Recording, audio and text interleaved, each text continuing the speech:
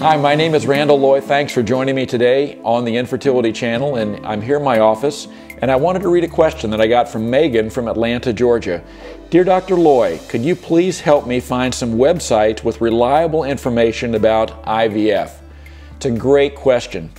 Well, Megan, there, there is a wonderful site, in fact, a number of, of wonderful sites in this regard, and I think you need to first off probably avoid the .com websites and go with the .org and the .edu and the .gov websites. Now, one especially that I'd like to bring to your attention is the cdc.gov forward slash ART, A-R-T, that stands for the Assisted Reproductive Technologies. Uh, when you go on that site, you're going to see the 1992 Fertility Clinic Success Rate and Certification Act. This was a bill that was sponsored to make sure that clinics were reporting their data accurately. There had to be truth in advertising. Now, it is interesting to me that we are the only subspecialty in all of medicine that has to prospectively send our data to the government. Wouldn't you love to know how many lives your cardiovascular surgeon has saved? Or how about your neurosurgeon? What about your pediatrician? How good is he or she? I find that interesting. We're the only subspecialty. I'm not bitter, just, just saying it. Now, I have patients who come in all the time and they say, I've done my internet research. I had a patient a few weeks ago, true story. She said, I did some internet research. It shows that I'll ovulate better if I'm naked in the corner standing on my head. And I asked her, I said, well, you know, where was that research from? Could you give me the journal article? And she says, no, no, I read it on the internet. It was, uh, it was, I don't know, somewhere. Well, that's probably not reliable research.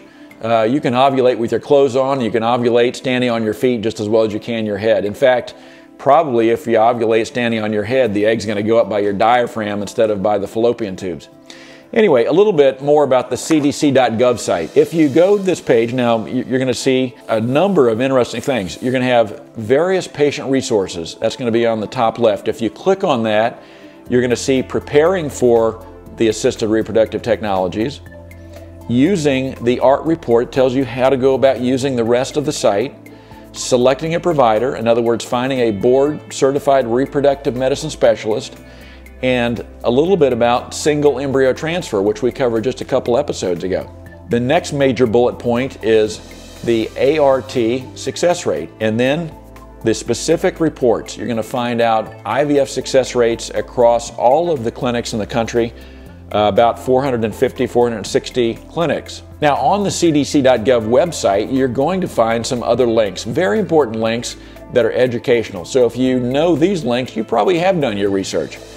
One of these, we've talked about the Society for Assisted Reproductive Technologies, SART.org, the American Society for Reproductive Medicine, ASRM.org, the American Fertility Association, Resolve, the National Infertility Association, Fertile Hope, and Urology Care Foundation. Finally, the U.S. Department of Health and Human Services National Library of Medicine. Those are all great sites for you to look at. Well, some weeks ago, I had a couple who came in and they'd been researching on the internet, and I took them through in vitro fertilization, all the steps, and they said, Well, when is the written test? And I thought they were joking. I said, Ha ha, that's cute. And they said, No, we're serious. Shouldn't you have to have a written test to become a parent? Well, probably you should, but there is no such test. A lot of this stuff is just trial and error. So it's up to you to do your research on the cdc.gov website and some of these other very good websites. Do your research and you will be a better IVF patient and you'll be a better parent. Thanks so much. We'll see you back here next week on the Infertility Channel. Be sure to share this video with your friends and subscribe to catch all new episodes each week here on the Infertility Channel. Plus, follow us on Facebook and Twitter. I love hearing from you. Comment below or tell me what you want to see on future episodes by sending me an email to comments at infertilitychannel.org. Until next week.